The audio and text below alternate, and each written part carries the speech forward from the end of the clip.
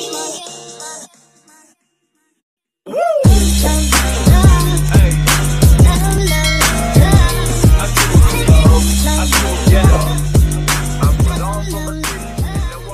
going to show you today how to create a new project mail in Aconex.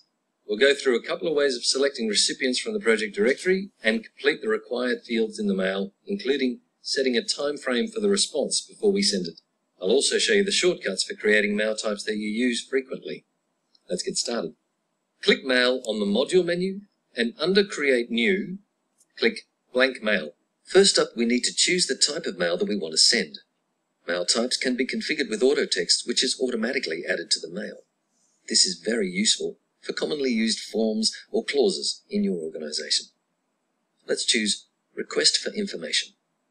And you can see some auto text has been added to give us a head start. See how some fields are marked with an asterisk and highlighting? These fields are mandatory, and we have to complete them in order to be able to send the mail. Now we need to choose the mail recipients. We must choose at least one to recipient or CC recipient, and we can of course choose more. We can just type some or all of the name in the field and press enter. Aconex searches the project directory for names or mailing groups that match.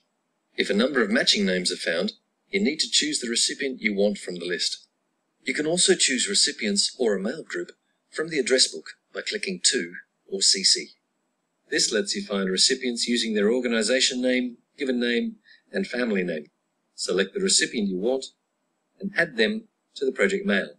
Not all types of mail need a response, but we'd like a response to our RFI, so we'll choose respond by and set the date we want an answer by.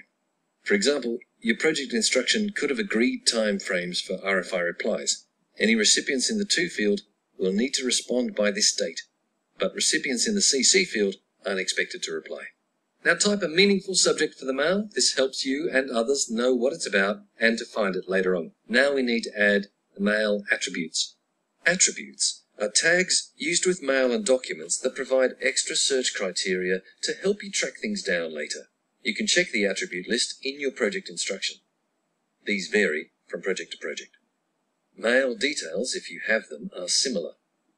Details aren't used on every project, but they make it easy to enter, find, and report on the information that's contained in the mail. So if they're there, fill them in.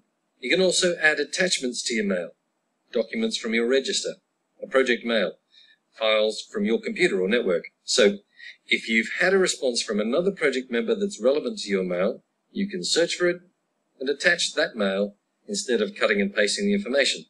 That way, your recipient gets the full context. There's our attached mails. Then we complete the body text.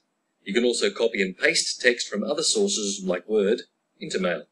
At any time when you're creating your mail, you can save it to draft. Aconex automatically saves your mail to draft every five minutes, and you'll get a similar notification each time. We click send, and off it goes. Mail is displayed, confirming that it's been sent to all recipients. Remember, all project mail sent and received in Aconex has fast and secure delivery. So now you know how to create any type of mail, let me show you a shortcut for creating mail types that you use frequently.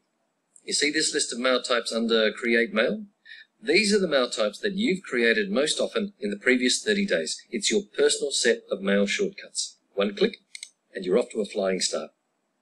I hope you're now confident with creating and sending a new mail. You'll be able to search for recipients by name from within the new mail form or go to the address book for a wider search set a response time frame, and complete the mail details. You'll also be sure that it was delivered. Be sure to take advantage of your personal mail type shortcuts. Bye for now.